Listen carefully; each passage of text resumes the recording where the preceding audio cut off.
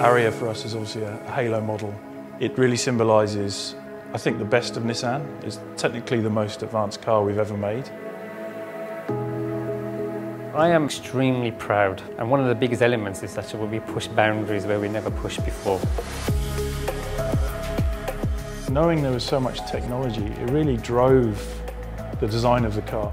So I felt the more technology that went in, the more we simplified the design, exterior and interior. The interior is much lighter. It kind of creates this new ambient atmosphere but also at the same time it's actually elevating customers' comfort and it kind of creates this new living space experience.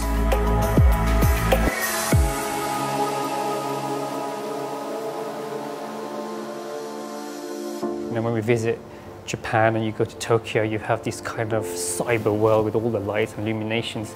But when you enter someone's home, the serene and the simplicity and the pureness, how they're living, was a great balance and how we kind of created this architectural layout and this new ambience of the interiors.